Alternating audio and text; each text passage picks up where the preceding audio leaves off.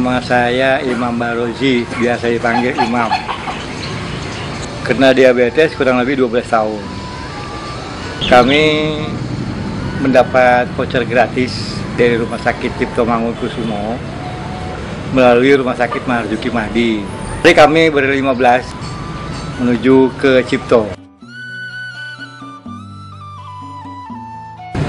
Di Cipto kami diterima dengan baik.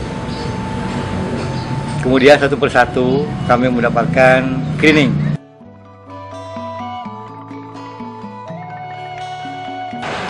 Jadi dalam pelaksanaan screening itu ada uh, foto retina itu bisa dikerjakan oleh tenaga paramedik, juga foto grader.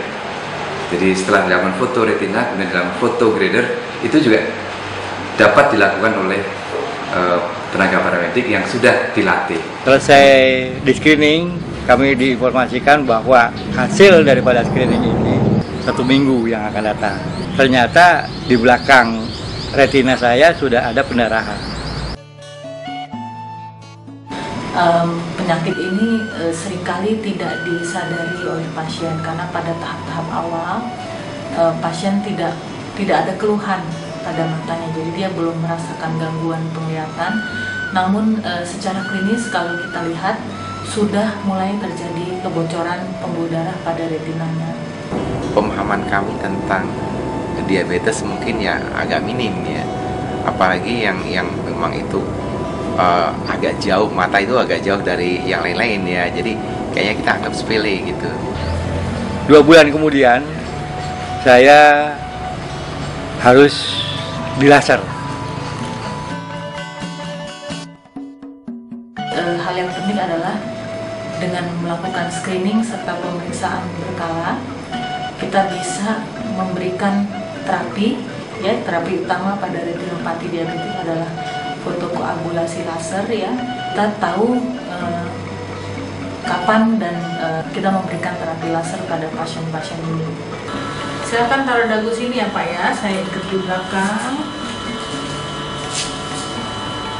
kita tempelin lensa dulu ya pak ya oke bapak lihat lurus pak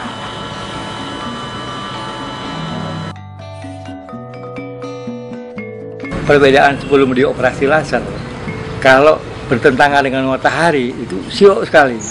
Tapi sekarang enggak. Bahkan tanpa kacamata juga.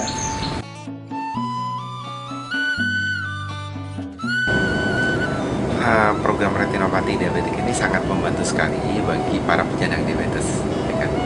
terutama bagi mereka yang uh, golongan ekonomi menengah ke bawah ya. Nah, dengan adanya screening retinopati diabetes ini di RSCM memberikan manfaat untuk institusinya sendiri, itu RSCM, kemudian yang kedua untuk pasiennya, dan yang ketiga adalah untuk tenaga mediknya, bisa dokter, bisa perawat, dan bisa tenaga e, medis lainnya.